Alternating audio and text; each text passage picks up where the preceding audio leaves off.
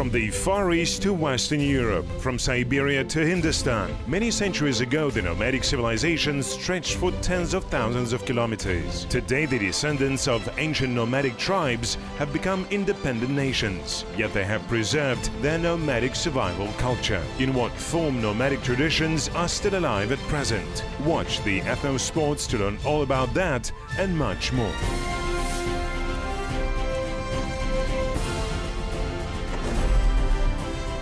Game of the Brave. Grueling training. Kokpa, pride of the nation.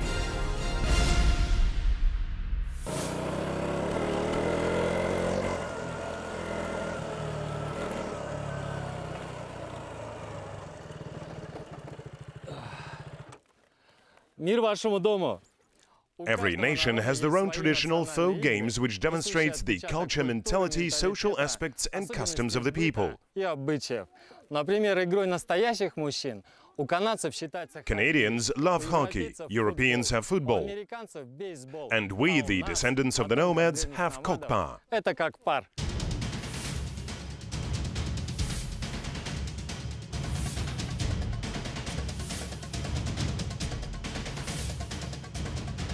The ancient equestrian game kokpa, known from the times of Zoroastrianism, is a test of endurance and strength for its players.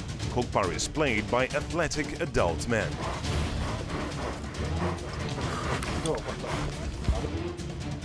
However, some of the players can be young. If a player is a great horse rider and is capable of lifting a goat carcass off the ground with one hand, then they are allowed to play. But just this is not enough. The main quality for participation and winning in Kokpa is fearlessness. When you are on a horse, you don't think about anything. You leave everything behind. Anything doesn't matter, and you don't think about anything. The game is not for everyone. Not everyone can play kokpar. There is also a weight limit of only 60 to 70 kilograms.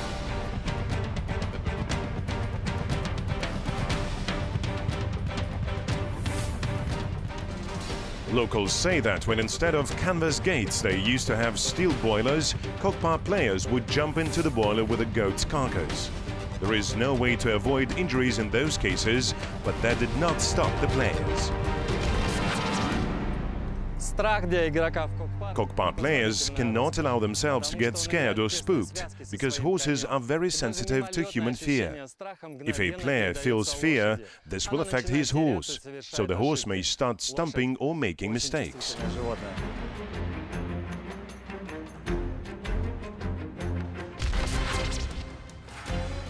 Our ancestors considered Kokpa as a kind of initiation rite for adolescent boys. Bakit Kaibekov in his book Nomadic World describes Kokpa as a battle of a soul which is tested by dark forces like fear, negative thoughts. According to the author, Kokpa is not just a sports game. It is an attempt to be with the gods. Kokpa players resemble Tengri warriors.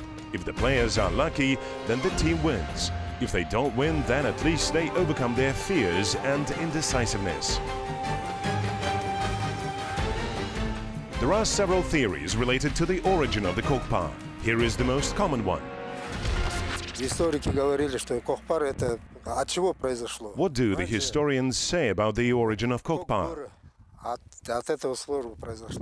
Etymologically comes from the word kogbori. Bori means a wolf. In the past, wolves attacked the Kazakh settlements, killed the sheep and horses. So people hunted the wolves and dragged their carcasses. This is where the game originated from. According to another version, the choice of goat is not accidental.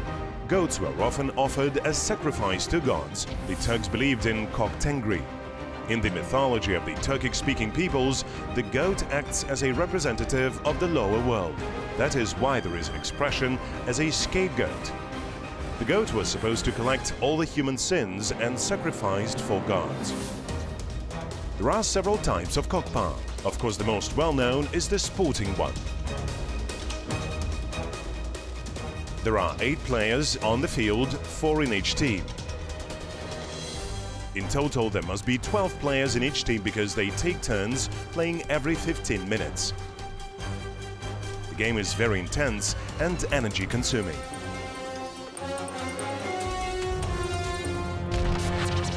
The modern type of kokpar is more like sport.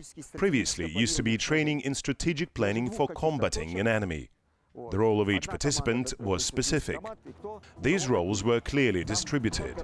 Some players ran short distances, others had to pick up the goat carcass and pass to other participants, who had to not let go of it.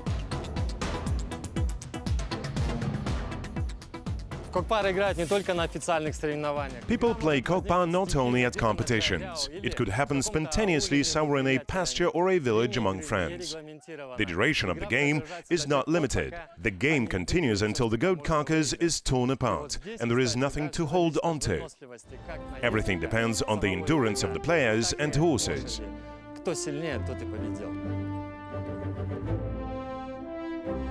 We are on an improvised racetrack in Berike village, Karasai district, Almaty region. In here they play a completely different kokpa. It is not a team game, everyone is playing for themselves. The weight of the goat carcass can reach 60 kilograms here. For comparison, in this sporting game the average weight of the carcass is 35 kilograms. Despite the seeming ease with which the players engage in the game, Kokpar is one of the most challenging traditional games in the Kazakh culture.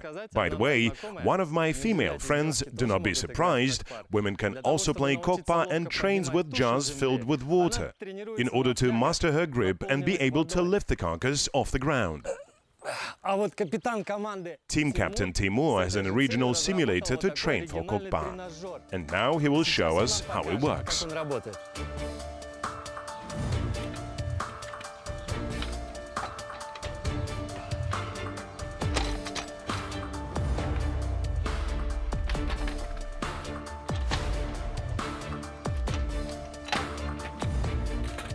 I'm speechless. You saw everything with your own eyes.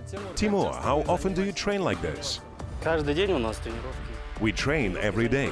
It takes about one hour. One training session lasts until we get tired and get to the point of a muscle collapse. We train our muscles that way. Our strength and agility comes from this. This is how we train every day. I admire Timur. He's not taller than me, but he's so much stronger than me. I even have goosebumps when I look at him. Could you repeat it? I will try.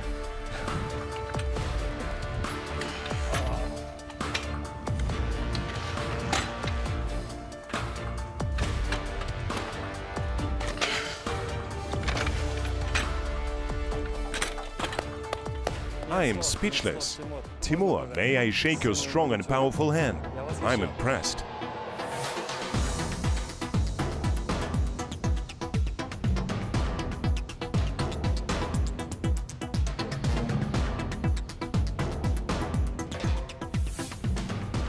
Kokpar is a special game.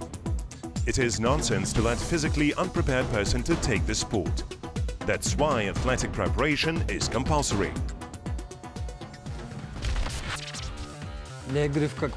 You need strong hands to play kokpa. Try lifting 60 kilograms with just one hand.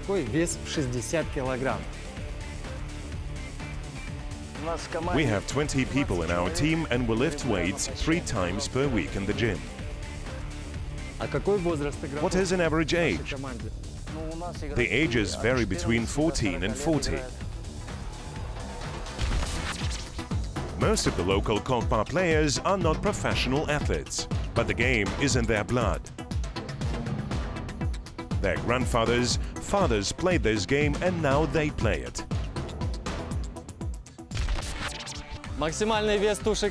The maximum weight of a goat's carcass is 60 kilograms, and this weight should be lifted off the ground from the height of a horseback.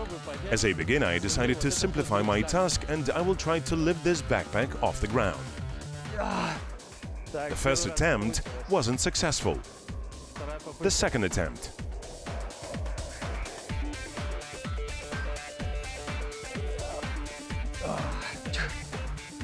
Of course, it is only 5 kilograms and it cannot be compared with 60 kilograms. The choice of a horse matters a lot in Kokpa. A horse must be not only strong but clever, the connoisseurs say that a good horse does not allow his opponent's horse to get closer to the goat carcass and acts as a strong team member during the game. I'm a good horse rider, but still I can't convince myself to take part in the game. I'm not a coward, it's just a matter of a common sense. That's why I will just observe from here.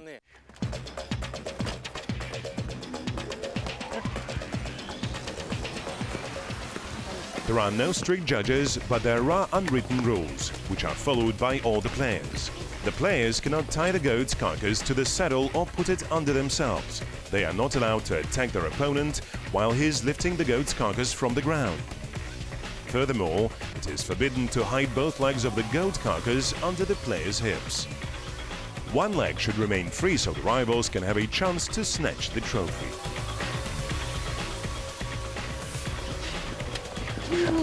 Пока не заберут, не бросаем.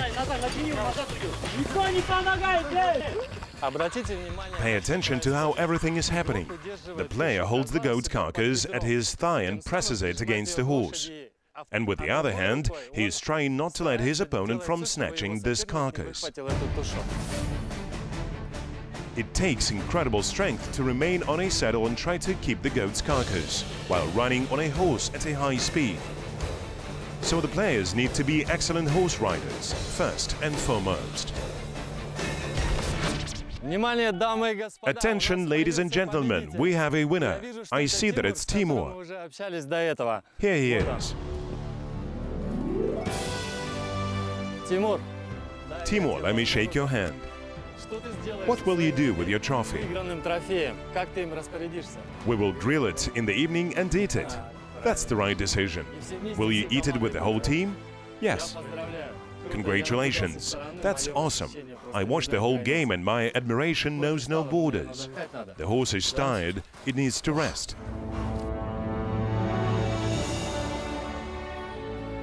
After the game, our ancestors cooked the goat and distributed the food among childless families with the wish of a happy family.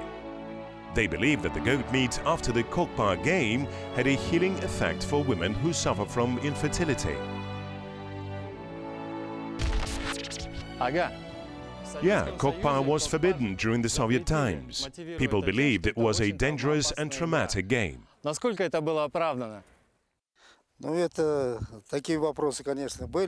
There were such conversations, but there are more dangerous games than kokpa.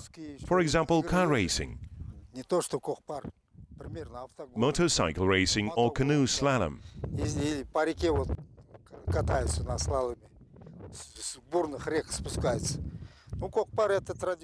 But kokpar is a traditional game. It is all planned and organized. The rider and horse are always together. They always help each other. No wonder people say a horse gives its rider wings. But we have to admit, Kokpa is quite traumatic. In order to decrease the number of injuries, players use special equipment.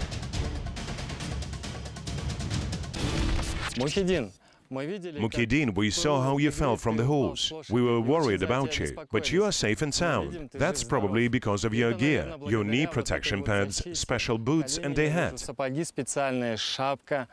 Tell us about them нам про экипировку. Ну, начнем с сапогов. Сапоги, Let's они, start with the э, boots. пятки Boots keep my feet safe so they don't break сохраняют and are fixed in the stirrups.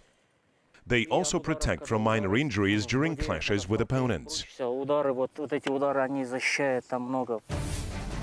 Heels are an important attribute of the Kokpa.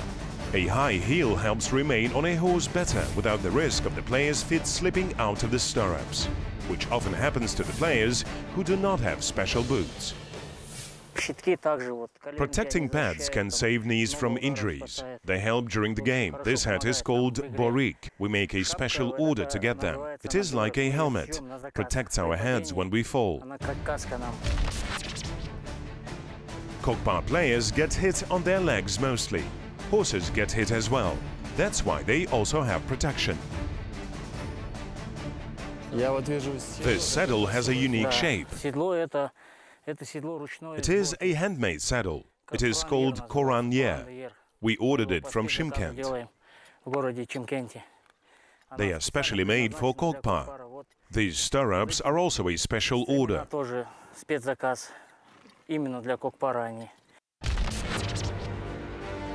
According to the famous Kazakh ethnographer Akhmet Toktabay, the nomads had used stirrups starting from the 2nd century BC, and this invention was revolutionary in horse riding. Two girths are used in Kokpa. Two girths? What is their role? Usually only one girth is used, right? Yes, usually one, but in Kokpa we use two because the goat's carcass is heavy, varying between 50 to 70 kilograms. When you lift it, two girths are needed to keep the saddle stable. This is a beautiful saddle. It is so ergonomic. A saddle for Kokpar is made taking into account the features of the player's body. It must be sufficiently deep and comfortable. If you play Kokpar on an ordinary saddle, it can easily slip and the rider can easily lose balance and fall off the horse. The UNESCO has rejected Kazakhstan's application to include Kokpar in the list of intangible cultural heritage, arguing that the game is charged with a cruel treatment of animals. The same reason the Spanish were rejected with their application of the bullfight.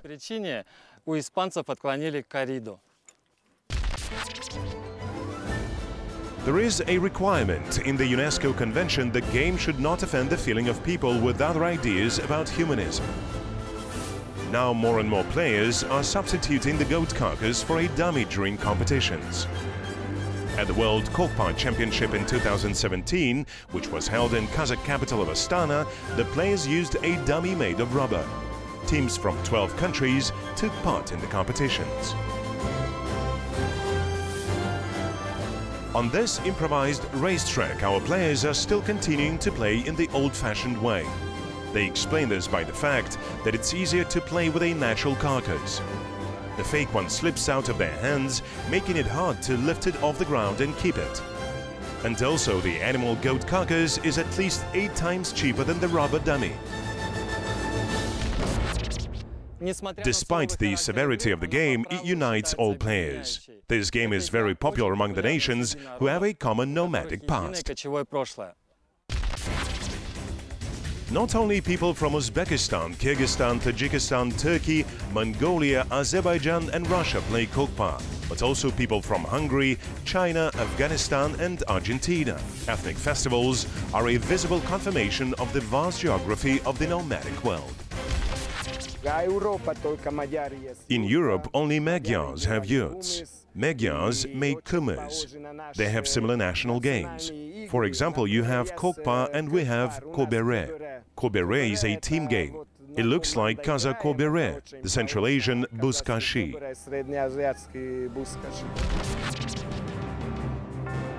In Afghanistan and Tajikistan, Kokpa has a different name, Buzkashi. It is called Ulak Tartysh in Kyrgyzstan. The rules slightly vary depending on the country, but there is something that unites all the players regardless of their nationality and origin. The most important thing is antiquity, and now is that people are united by a common spirit of the game. For example, we don't understand the Hungarian language and Andras knows Russian a little bit. But we freely communicate with each other. We understand each other. The main thing is a desire to understand your historical roots. Not to point out the differences, but highlight the commonalities. а наоборот для объединения.